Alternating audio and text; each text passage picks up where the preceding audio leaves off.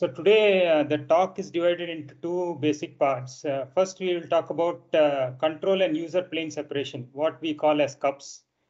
And from there, we'll go to the second part, which is about the protocol. So the protocol is called the PFCP, Packet Forwarding Control Protocol. And these two are very, uh, you know, closely linked uh, with each other. So the uh, talk requires you to be already familiar with telecom domain. If you're completely new to telecom domain, there are there will be many things in this talk that you may not understand. So uh, probably you can take a note of these things and uh, get in touch with me offline or check up the specs. So this is not meant for people who are completely new to 5G. So you need some background in 5G, some understanding of uh, the 5G architecture before you can uh, understand this talk. So let's start with uh, this basic understanding what is control and user plane separation, which is called uh, in short form CUPS. So if you look on the left side uh, of this figure, this is a traditional 4G EPC. EPC stands for Evolved Packet Core where you have some control plane functions and uh, some nodes serving the user plane functions. So the MME is uh, primarily responsible for the control plane functions, meaning that signaling, setting up the call, you know, modifying the parameters of the call, looking at handover, those kind of things. Whereas the serving gateway and the PDN gateway, they are mostly concerned with the user plane functions, meaning that when someone when someone uh, sends actual user data, such as, let's say, a voice call or a video call or browsing the internet, those user data traffic goes through the serving gateway and the PDN gateway. So these two uh, entities in the network represent the user plane. But unfortunately, the way the spec is designed, at least in the earlier versions of the spec, these two entities, serving gateway and PDN gateway, also have some control plane functions, which is what you see here. Part of it is shaded in blue. Now, in the early parts of the standard, this was fine. But then when 5G came in and when LTE also started scaling up towards higher data rate, more stringent latency requirements, this presented a problem. Why? Because now let's say you are in a busy period let's assume that uh, we are in New Year's Eve. So in a New Year's Eve kind of scenario, there will be a lot of traffic on the network. So what happens in such a scenario, you uh, you may be having, let's say, 10 serving gateways and maybe 50 uh, PDN gateways. That may not be enough. You may have to scale to 500. This you may have to scale to 50. So when, when you scale like that, it doesn't work, uh, you know, because now uh, both of them have to be scaled in tandem. Because the uh, S gateway and the P gateway both have uh, user plane as well as control plane functions. You can't scale only the user plane functions and not scale the control plane functions because they are integrated into a single node.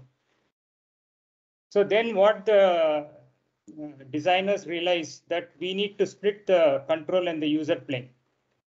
So now looking back, it looks like such an obvious solution, but back then they never uh, thought that uh, such a requirement would arise in the future. That 5G uh, will become so popular or 4G will become so popular that we need to scale to tens and thousands of nodes. Uh, you know, we need to scale these units, uh, the control, the user plane and control plane independently. But the time came when they had they decided that it was sensible to split the control plane and the user plane. And that is what CUPS is all about. So the evolved uh, network is what you see on the right side. MME stays the same. It is uh, serving only the control plane function. But the P gateway and the S gateway, now they are split into two parts. So the one in green is serving the user plane functions. The one in blue is serving the control plane functions. So now what advantage this uh, gives us? Uh, so what this gives us is now we can independently scale these two parts. I would request uh, participants to mute their mics. So when you have a question, you can uh, unmute yourself. So now what you have is that uh, these two parts can now independently scale. So for example, again, let's look, look back at the New Year Eve scenario. Suddenly you have more traffic, you need to scale this, but you don't need to scale the control plane so much. Maybe from five nodes, you want to scale to 50 nodes. That's fine. Even that is excessive. Maybe from five nodes, you want to scale to 20 nodes. You can scale it like that. But user plane, you know, you, you don't want to scale from 5 to 50. Maybe you want to scale from 5 to 500 because so much more traffic is going on on the user plane. Now, because of the separation, you can scale them independently. That is the first thing that uh, first benefit that you get by separating the control plane and the user plane. The second benefit we get is uh, now the network can choose the user plane location in a more flexible manner. So for example, to meet the stringent latency requirements, let's say, which is common in many of the 5G use cases. So what we can do is, or what the control plane can do is that it can pick nodes which are closer to the RAN. For example, it can pick a serving gateway which is closer to the uh, RAN to which the UE is connected. So now packets on the user plane don't have to traverse too much in the network. And that reduces the latency. Similarly, it can choose a PDN gateway which is cl closer to the point uh, where the packets exit the mobile network and go into the data network. So that choice is there now with the with this uh, new system where the control plane and the user plane are separated. So this uh, feature called CUPS was introduced in release uh, 14 uh, of the LTE standard and subsequently in release 15 where the first standards for 5G came out uh, uh, uh, CUPS was already in place. That means the very first release of 5G, which is release 15, already had CUPS built into it. So now we have already seen in this diagram how CUPS works in the 4G uh, specific case. In 5G, it is very simple. In 5G, this is how CUPS works. So you know, we know from previous uh, knowledge that the 5G control plane is designed as a service-based architecture, where all the functions are uh, defined uh, in a very modular fashion, and all these functions can communicate with one another using a service-based interface, which is typically just a HTTP call. So that is fine. All the control plane functions are over here. The user plane function in a 5G network is clearly separated from the control plane function, as you can see here. So UPF stands for user plane functions. Now you may be wondering, you know, why you have so many, you know, user uh, control plane functions in 5G when we had only MME in the 4G case. That's because here in this diagram, we have not shown the, all the other control plane functions which also exist in, in the 4G case. For that, let's look at a separate diagram, something like this. So you can see here, there are other functions, uh, you know, in 4G as well, which we have not shown in the other diagram but this diagram shows the equivalent functions. So in the 4G case, what we had as the P gateway control plane, S gateway control plane, and part of the MME, they are clubbed into one uh, entity in the 5G case, which is called session management function. That is what we see here. Likewise, if you look at the user plane, in the 4G case, we had P gateway user plane, S gateway user plane. That is after applying CUPS. That is now uh, represented in 5G as a single logical entity called the UPF, user plane function. So now this is the kind of separation we are looking at. So in the case of uh, 4G, we had uh, P gateway, S gateway separated into control and user plane functions.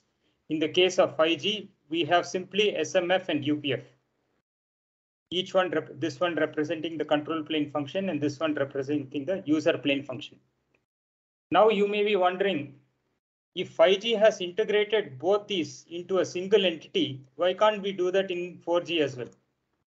Meaning that, okay, we have separated the control and user plane, but why not club the P gateway and the S gateway into a single entity, the way it is done for in 5G, let's say SMF, for example, or UPF, for example.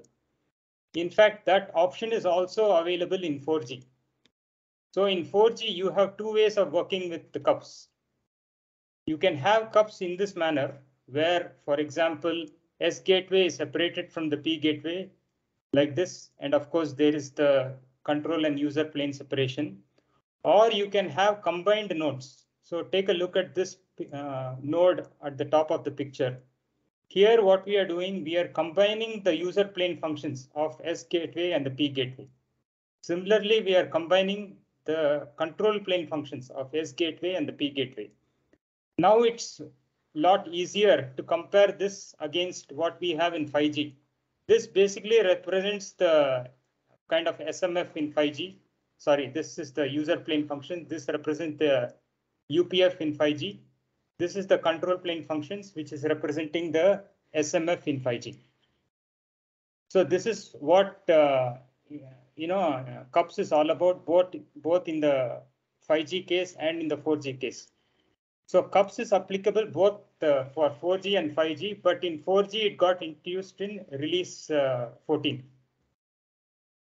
So if you look at the evolution of CUPS within the standards, the work for CUPS started way back in July 2015, where the initial proposal or the feasibility study was uh, launched uh, to understand what CUPS is and how to implement CUPS within the standard.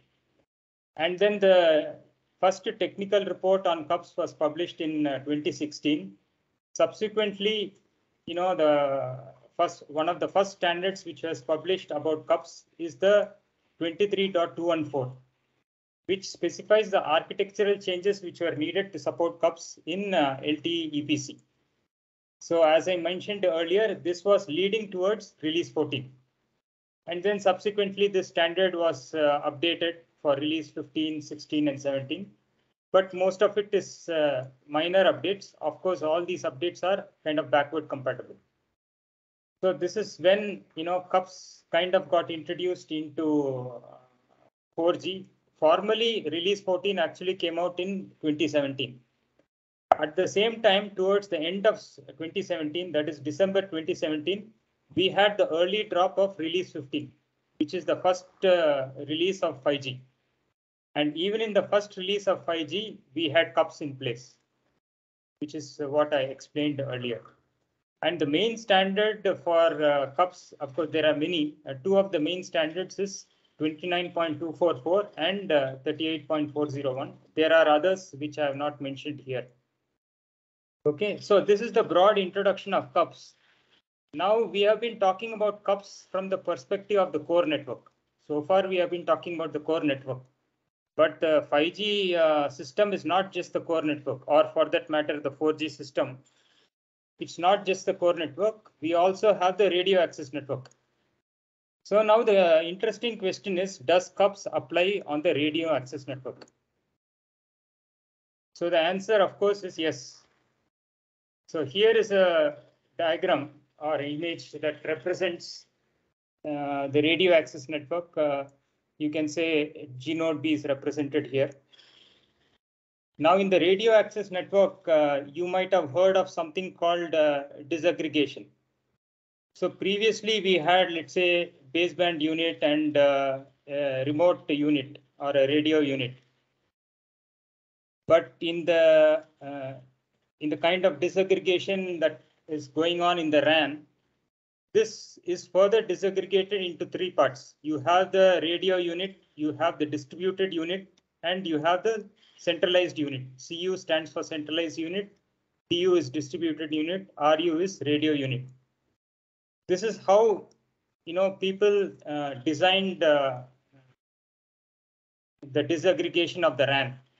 But from this, they disaggregated further. As you can see here, the centralized unit is disaggregated further into control plane and user plane. So now this becomes interesting. CUPS is not just for uh, the core network. It is also applicable for the radio access network, where you can disaggregate the centralized unit into control plane and the user plane. And then because of this, new interfaces are created. So for example, control plane and user plane are interfaced using the E1 interface. Likewise, CU and DU are interfaced using the F1C and the F1U interface. So because of this disaggregation, new interfaces come into play. Same thing happens uh, in the core network. Now you may be wondering what actually goes into this particular thing, control, uh, centralized unit control plane, centralized unit user plane, what goes into DU, what goes into RU. So we'll not get into the details, but briefly, if we recall the stack of the RAN, what are the layers that we have? We have the physical layer, we have MAC, we have RLC. Then above RLC, uh, on the control plane, we have, uh, I think PDCP or RRC. Then on the user plane, again, we have PDCP and SDAP. So those are the layers we have on the user plane. Those are the layers we have on the control plane. So now we can imagine RRC will be in the control plane in the CUCP. PDCP, part of the PDCP will also be in CUCP. SDAP will be on the user plane. Part of PD, uh, PDCP will also be in the user plane. RLC and MAC, typically they are in the distributed unit. And then part of the physical layer is in the distributed unit, part of the physical layer is in the radio unit. So there are different ways in which these kind of splits can happen, but I'm just uh, talking about one particular split, which is typically referred to in the standard as 7.2 split. So we'll not get into the details, but there is cups. So the purpose of this slide is simply to drive home the point that cups is also applicable on the RAN. And uh, typically it is done in the centralized unit where some functionality like RRC and PDCP is here. And the user plane has other things like uh, SDAP and PDCP. Okay, so this is the broad introduction of cups. Now, I last point I want to cover is that uh, we saw that in the case of, uh, for example, in the case of in the case of 4G, when we do uh, when we split the control plane and the user plane, we introduce new interfaces. For example, in the S gateway side, we introduce an interface called SXA. I'll enlarge this diagram. In the S gateway side, we introduce a new interface called SXA. In the P gateway side, we introduce a new interface called SXB. And where we have combined functionality, these two interfaces basically get combined. The reason for these interfaces is that because earlier these two were co-located, they were uh, integrated into a single box. So we didn't need this interface and uh, the control plane and the user plane could freely exchange information. That is no longer the case. We have deliberately split the functions. So now there is a need to define a new interface between these two. The same thing applies for for what for 5G. Same thing applies. Now we have a new interface between SMF and UPF because the control plane and user plane functions are clearly split. And this interface between SMF and UPF that is called the N4 interface. So now with the introduction of new uh, interfaces between control plane and user plane, there was a question mark. How will these two entities now communicate? What will be the protocol that they can use to communicate? So now the 3GPP deliberated on this. They looked at already existing protocols uh, in the industry and they kind of adopted the best practices from different protocols and they came up with a new protocol called PFCP, Packet for Forwarding Control Protocol. And that is what we will be talking about next. So before we go into PFCP, any questions or comments at this point? Anyone can uh, chip in.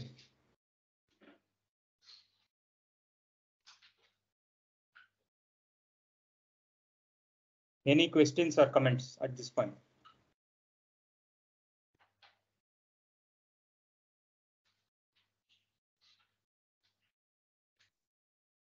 Okay, no questions.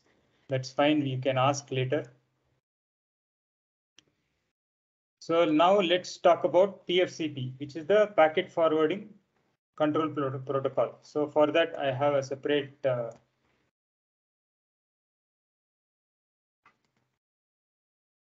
article here.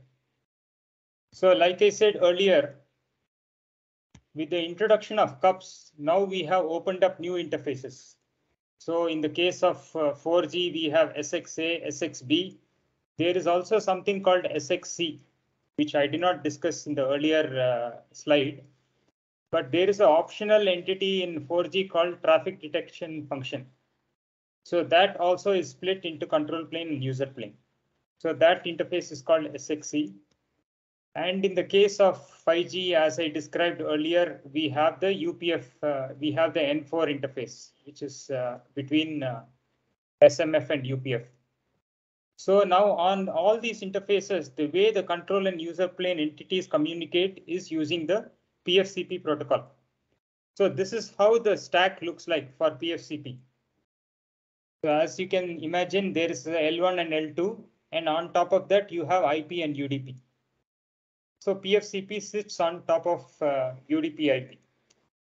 Okay, I hope this is this is simple to understand, very clear.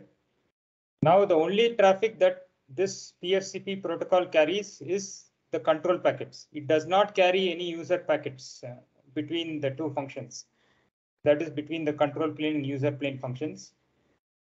Now, what can you say about this stack? By looking at this, what can you say? Some of you can probably take a guess. What does UDP imply for you? We, we, we know that in networking, very commonly used protocols are UDP and TCP at the transport layer. So what are we achieving by selecting UDP? What is the limitation of selecting UDP? Anybody?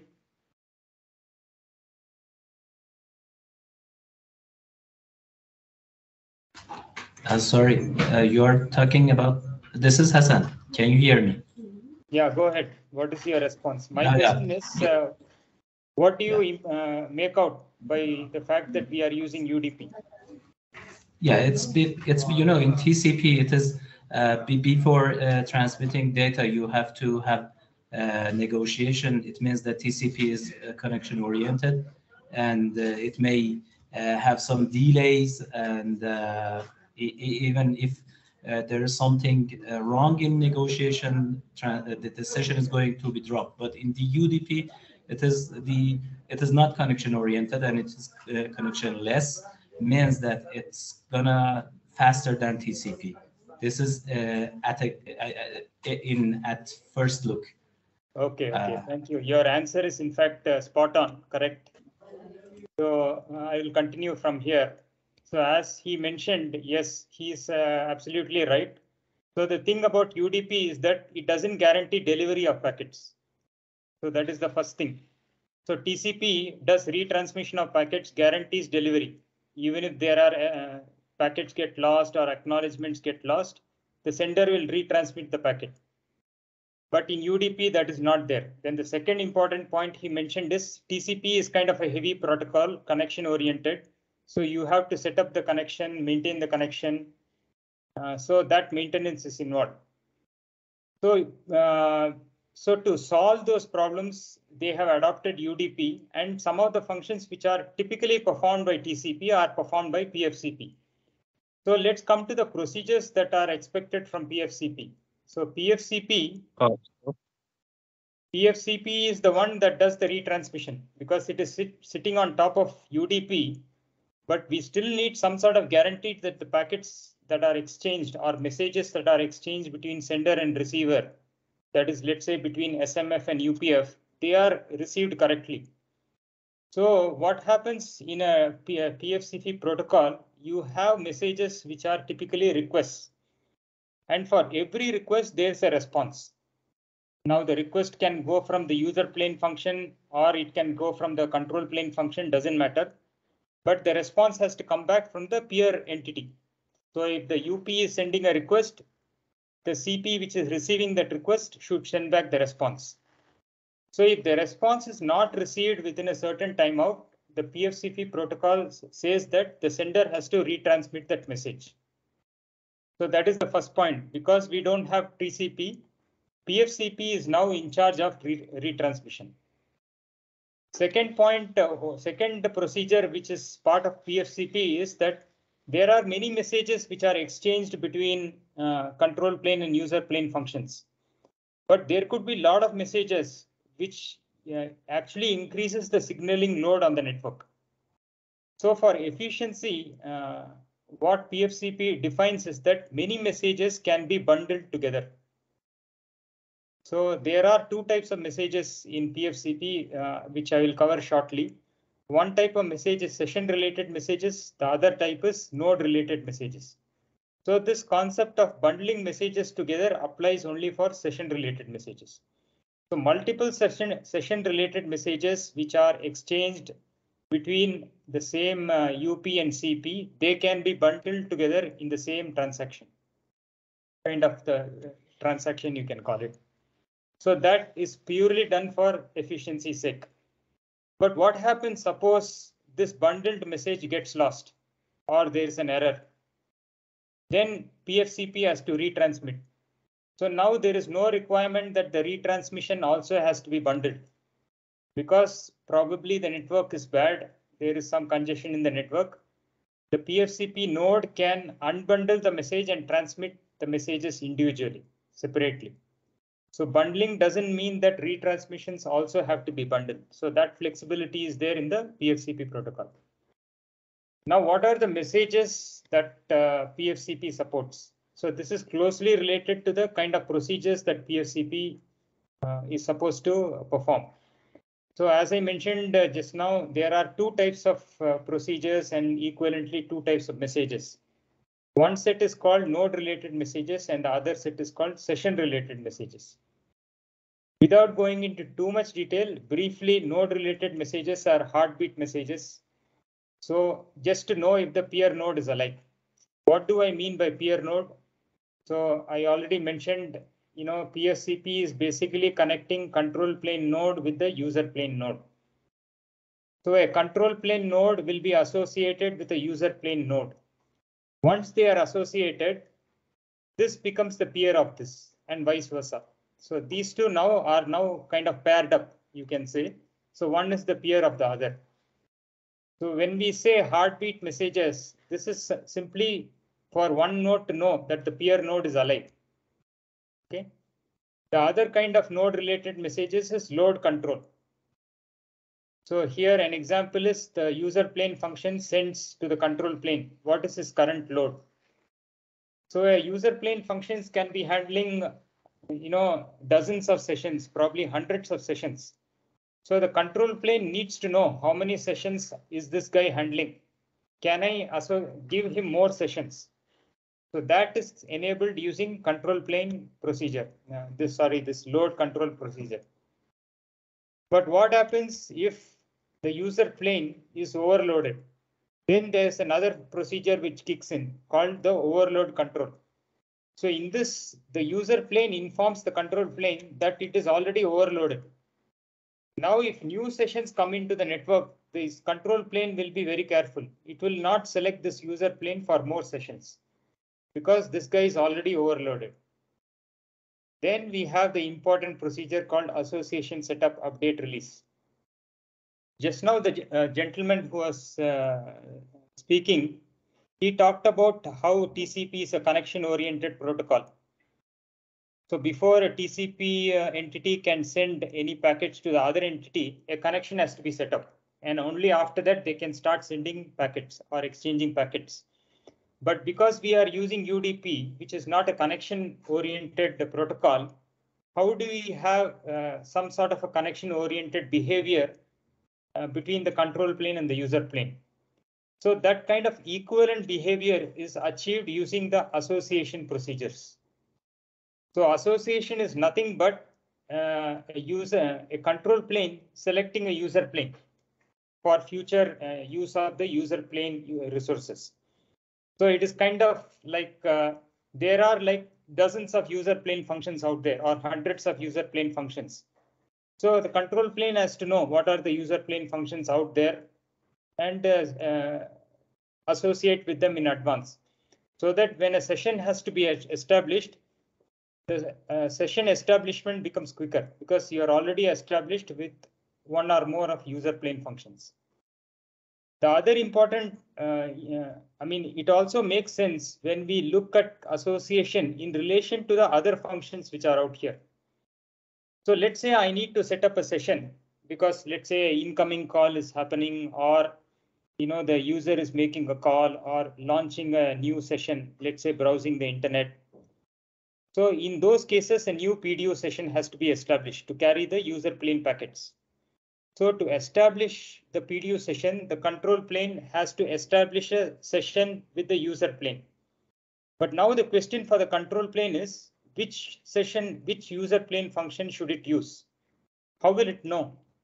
So it has no idea unless it has already associated with one or more user plane functions.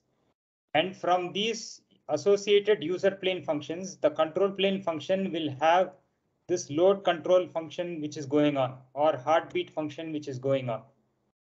So using these function, uh, these procedures, the control plane will know what are the what is the current status of the user plane function. First of all, is the user plane function alive? Secondly, how loaded is the user plane function or is it already overloaded? So suppose the user plane function is not overloaded and the load is very reasonable, then this will get selected for the new uh, PDU session. That is how that is one of the ways in which control plane function takes decisions, which you know user plane function should handle the incoming session, the new session and the, how exactly a user plane function, uh, how exactly a user plane function is selected by a control plane function. This is not fully specified in the standard because this is very much implementation specific and uh, every vendor can do implement this differently. But we know uh, these are the things that will be used uh, in selecting a particular user plane function. And as I mentioned in the earlier part of the talk, Another parameter for selecting the user plane function is how close is the user plane function to the RAN or to the DNN, that is external network data network, how close it is, it is to these entities, because that also determines the latency of the overall uh, user plane path.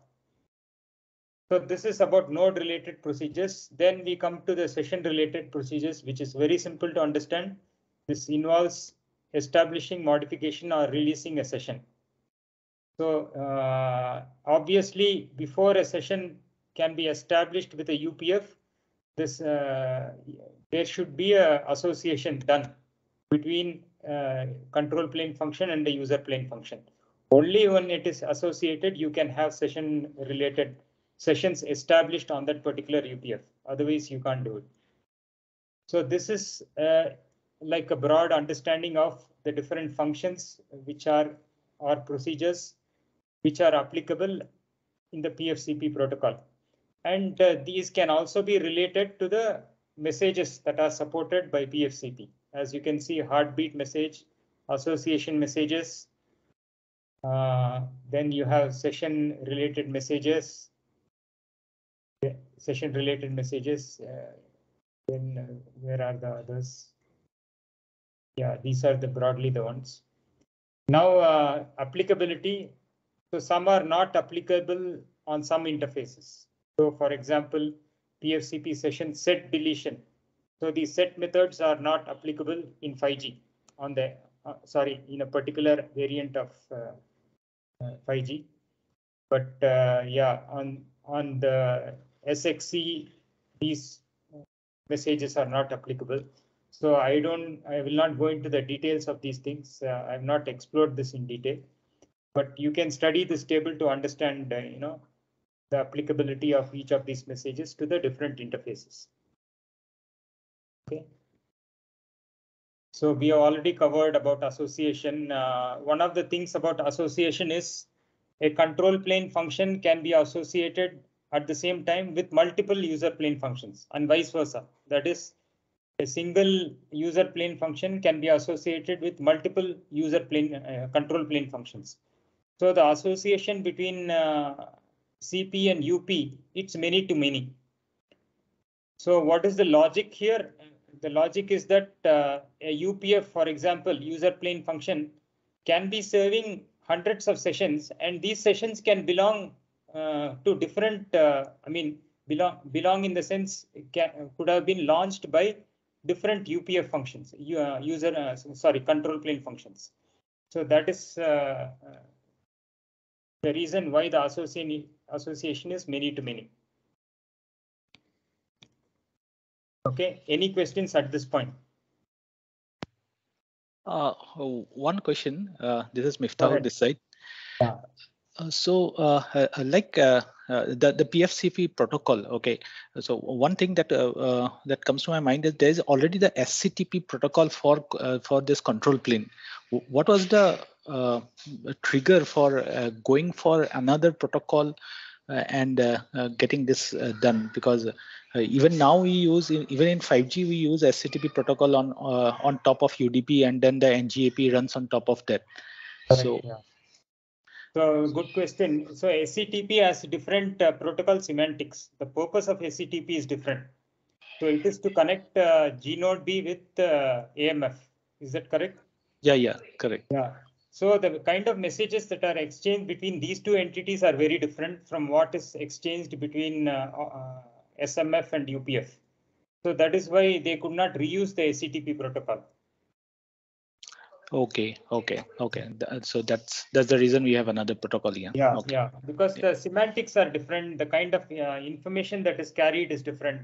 So they had to come up with a different protocol. Okay, okay, okay. Thank you. Any other questions? Hey Arvind, uh, Sanjay this side. I just have yeah. a question. This interface, what we were mentioning, SXA and SXB. Yeah. Uh, are these interfaces only for the control plane or the user plane? Uh, it's an interesting question. Actually, these interfaces are connecting the control and user plane. So we can't say they are. Uh, uh, no, I understand that point. So my yeah. question is slightly different, and I I, I am taking a reference from uh, the N4 interface, right? Uh, yeah. Let me uh, you know just change my question, and instead of talking about SXA and SXB, N4 interface. Oh, so I'm not talking about uh, connecting the control plane and the user plane part of it. I'm talking about the N4 interface. Is this N4 interface is only the control plane or also the user plane? Uh, yeah, now I think I understand your question. So my answer is somewhat similar, but I'll change it a little bit.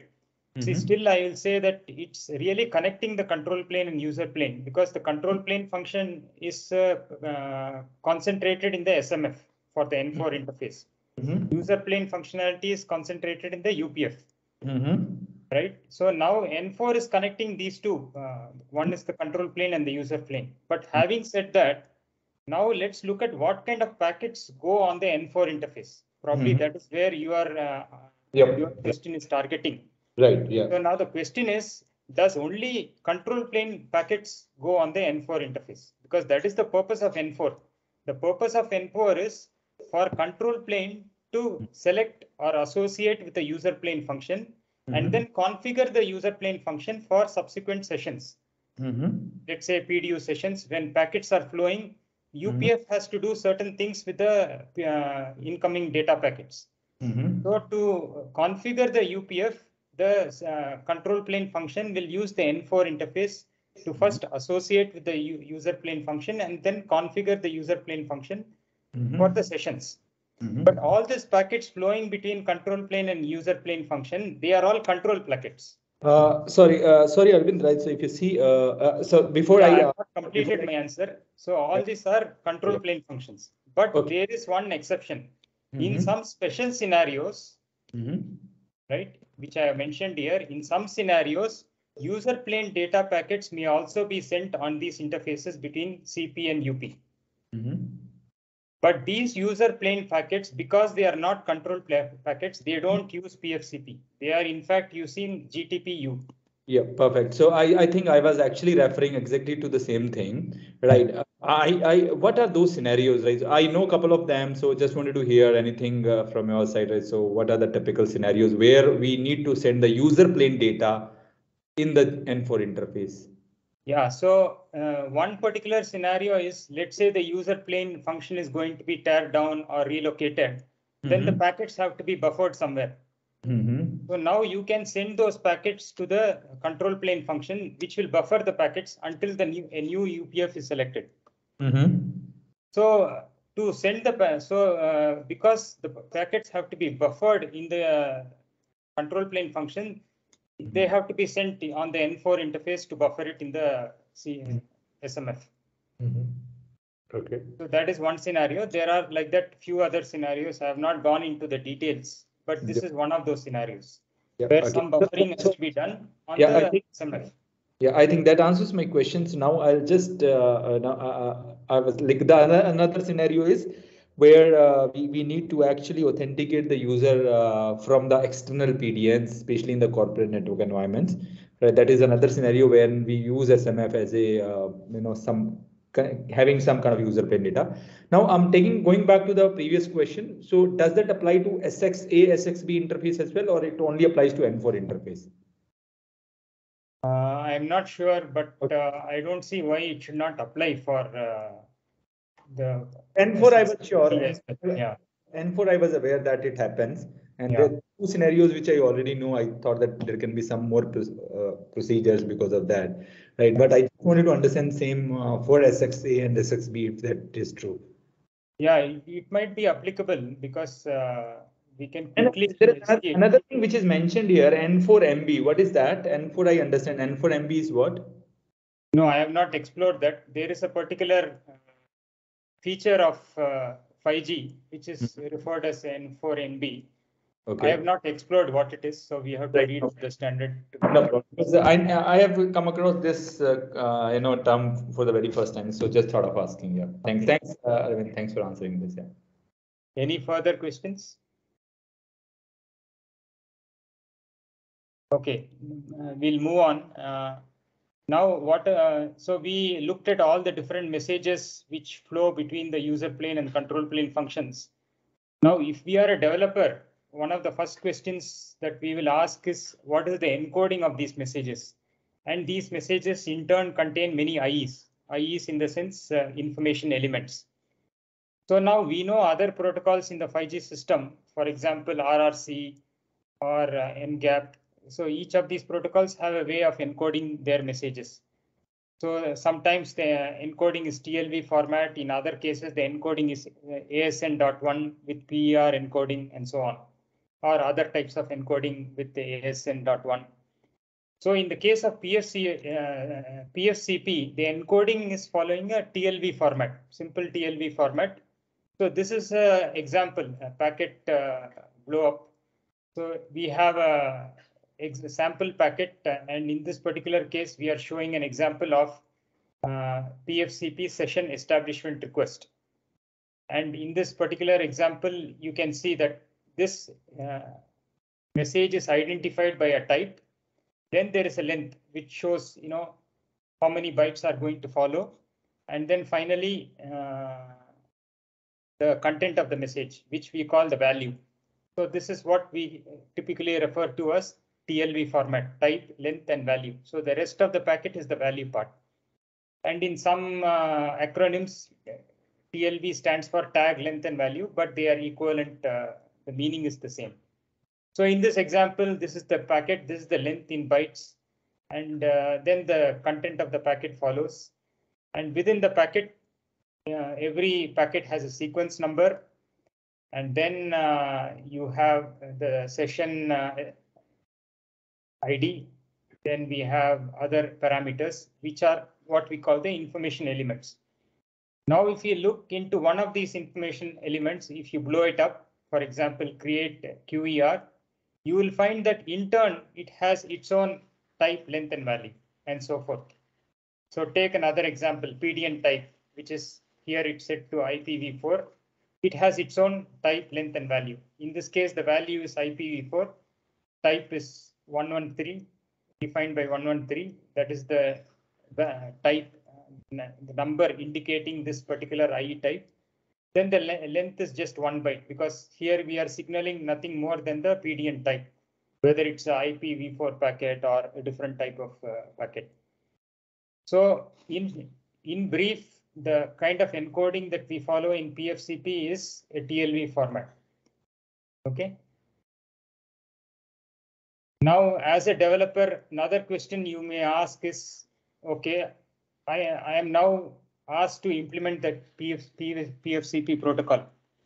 Now, if you had asked me this question, let's say 20 years ago, I would have told you some tips and tricks to implement the P or best practices, let us say, to implement a protocol like this or to implement uh, the encoding and decoding of TLV.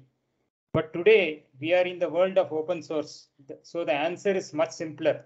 There, are already lots of open source implementations of PFCP. So as a developer, our first point of call is to see what are the open source implementations out there. What is the kind of licensing that these implementations use and whether we can use these implementations in a commercial product.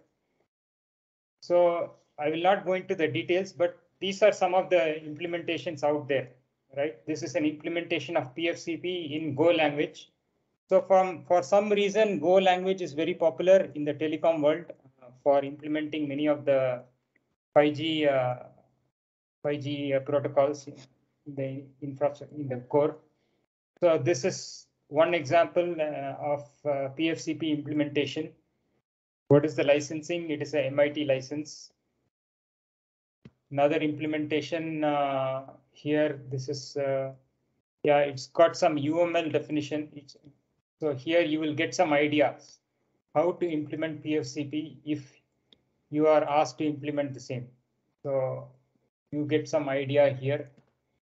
Next, we come to another project. Again, the, here you have an implementation of uh, a PFCP agent. And then finally, uh, again, a proof of concept uh, POC for implementing PFCP.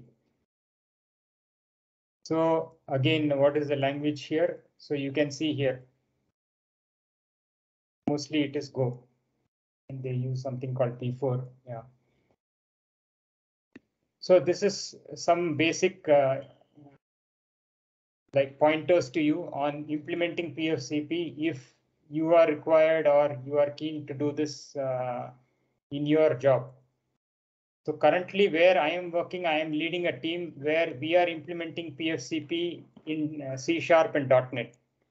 So uh, of course, our code is very different from this, but yeah, if you are required to implement in some other language, you need not start from scratch. You can get an idea how they are doing it here. Maybe you will get some interesting pointers.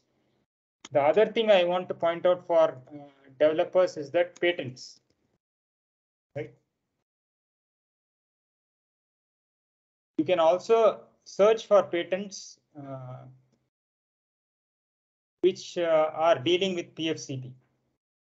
So for example, here there is a patent, uh, you know, which is talking about PFCP association procedure for session re restoration, which is a specific procedure which, in, uh, which is defined in the standard. It is applicable both for 4G as well as 5G.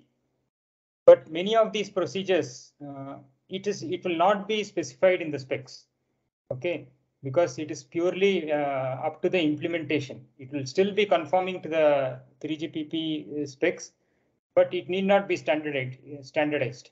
So this is where people can patent a completely different type of implementation where they try to do something unique. So earlier we spoke about, uh, for example, one of the important things in this whole procedure is how does a see, uh, control plane function select a user plane function. How, how does it select? Obviously, I mentioned a few things like it will look at the current load, whether it's already overloaded. It will look at the current loca location of the uh, user plane function, and then it will consider what is the incoming uh, session which needs to be set up. So it will, and many more things like that. What are the QoS requirements of this particular session? and whether the particular U, UPF, which is whether the available UPF, which of these can meet the QoS.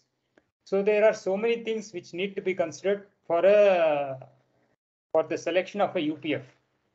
So that selection process is not standardized. And again, I believe there are some patents which may be talking about how to select a UPF function. But then there could be uh, many approaches which are not patented, which are like uh, industry secrets. So people like Nokia and Cisco, they may be doing these selection processes in their uh, equipment, but they will not be disclosing it uh, exactly how they are selecting a particular uh, UPF given the current you know state of the network. So the reason I mentioned this about patents is that as a developer, it is good always to study what are the patents associated with, in this particular example, PFCP, because it can give you ideas where we can innovate. And possibly if you get some ideas, you can create your own patent regarding certain aspects of uh, PFCP implementation. Or for that matter, in general, you know, management of a PDU session. So now having covered those aspects, now we come to the last part of the talk. We'll go into a little bit more detail about uh, PFCP, but I have kept this to the last because this is uh, not something I understand fully because there are many details here. So one of the important things is that what is the packet processing model? So this so this can be explained using this uh, image. So we are looking at a user plane uh, function. In the case of uh, 5G, it is UPF. In the case of 4G, this is what is called as a combined node. We talked about combined node where the user plane function of both the S gateway and the P gateway are combined into one node. So in this figure, they are representing that as SP gateway U. So what happens here? Basically, uh, the user plane function is already configured by the control plane function for a particular session and everything is ready. Then a packet starts coming into the user plane function. So the first thing the user plane function has to do is to identify which is the PFCP session. Because remember that our user plane function is handling hundreds of sessions. Yeah, we don't know how many hundreds, but potentially it is handling hundreds of sessions. First thing it has to do is to identify which is the session uh, to which this packet should be associated. So for that, it applies a certain rule called PDR, packet detection rule. So it has a bunch of rules which are configured by the control plane function, and it will go through all those uh, rules and it will find a match. Once it finds a match, it's a one-to-one -one mapping. It, now there is no confusion. One, once a match to a PDR is found, PDR stands for packet detection rule. Once a match is found, the UPF immediately understands this packet belongs to this particular PFCP session. OK, once the session is found, now for this particular session, that is not the only PDR. Actually, there are multiple PDRs which are configured for that session right? So now what the UPF will do, it will now look up all these PDRs for that particular session and it will select the highest uh, PDR with the highest precedence. So there are multiple PDRs which are configured for every session and they have a precedence. So the one with the highest precedence will be selected. So that is the second step of processing for the incoming packet. Once the PDR is selected, then the third step comes in, where for every PDR, there are multiple other rules which are configured. One of the rule is called forwarding uh, forward FAR. So what is the full form of FAR? Forwarding something. Let me open that file. Forwarding action rules. Forwarding yeah, action so rule. FAR stands for forwarding action rules. Uh, so uh, once Arvind, just, sorry, Arvind, can I ask PDR? So the PDR has associated rules and one of the rules is FAR, which is kind of mandatory. So use it will select the particular FAR on which uh, which will be applied before the packet is sent out to the uh, whichever side it may be sent out towards the core network or uh, sorry towards the UE or towards the data external data network. So either way, the FAR will be applied on when just before the packet is sent out. But there are other rules which are optional. For example, the other rules are QER, QoS enforcement rule, URR, usage report rules. buffer actions rules, BAR, multi-access rules, MAR. So I have just described them briefly. I myself don't understand this fully. I have not uh, come to the implementation of these things. So far in our work, we have implemented this and implemented this. We have not yet looked into these things. But uh, yeah, that is something we are going to be doing in the next few weeks. So broadly, this is how it works. So just to summarize, uh, three parts. First, identify the session using the PDR, then select the PDR with the highest precedence. And for that PDR, pick out all the configured rules, other rules such as FAR, QER, and so on. And then apply FAR on the outgoing packet. And other rules which are applicable, they will also be applied.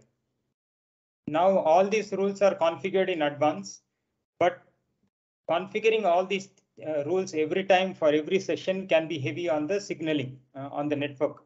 The signaling load can go up. So what the PFCP standard allows, it also allows you to uh, have predefined PDRs along with the predefined uh, FARs and QERs and so on.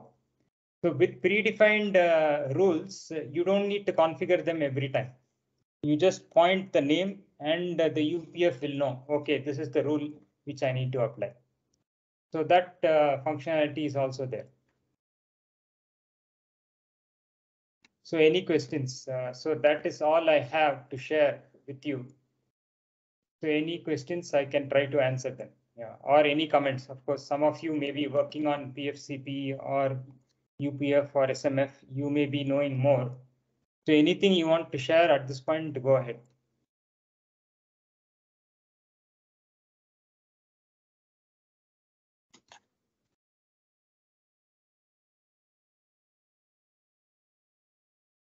Anyone? Anybody is working on PFCP at the moment? Or SMF or UPF?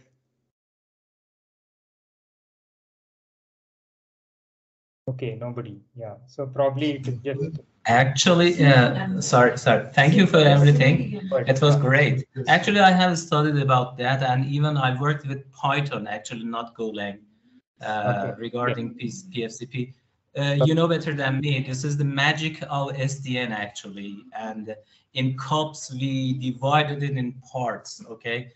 But in uh, SDN, uh, there, there is one southbound interface which is using OpenFlow and the PFCP is exactly based on OpenFlow, which yeah. most of the operate, I mean, providers supporting that.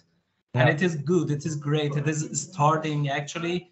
Uh, hopefully, it's going to cover all interfaces. I mean, in near future, because you know we need to have harmonized interfaces. You know, at the moment, even in 5G uh, core, we have three different uh, interfaces between two different, uh, no, three different uh, signaling interfaces or control plane interfaces between the uh, underlay uh, network and even control plane, which it is the SDN uh, actually orchestrator.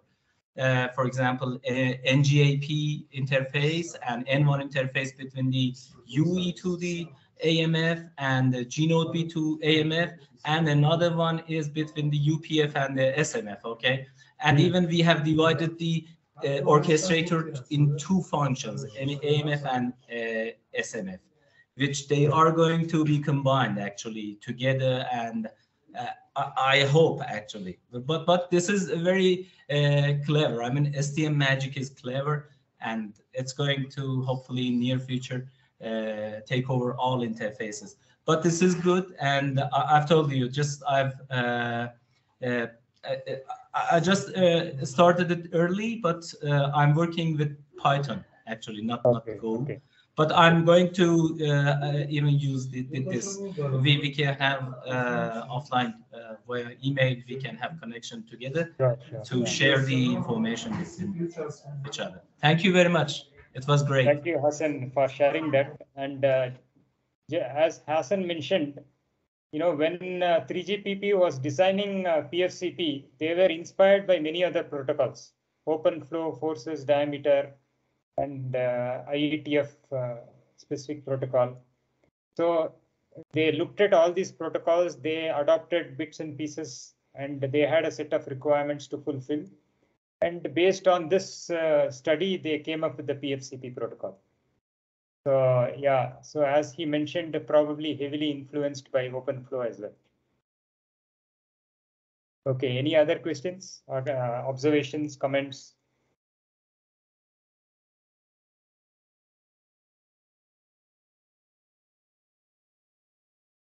Okay, if no other questions, I think we'll conclude here. A uh, couple of things to mention. Uh, firstly, these two articles uh, which I was using for today's session, they are already published on devopedia.org.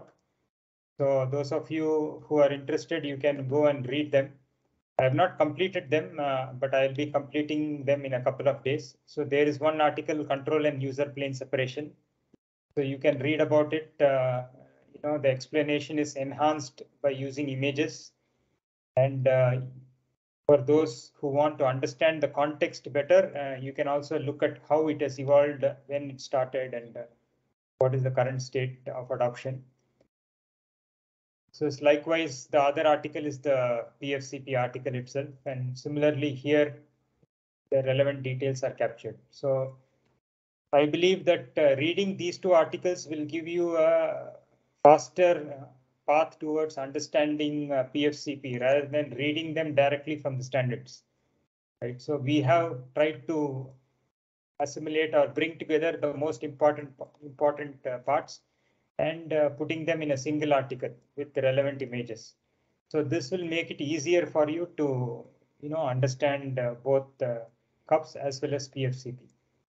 Finally, a recording of this video will also become available uh, on our YouTube channel. Uh, so that will be available uh, in an hour from now.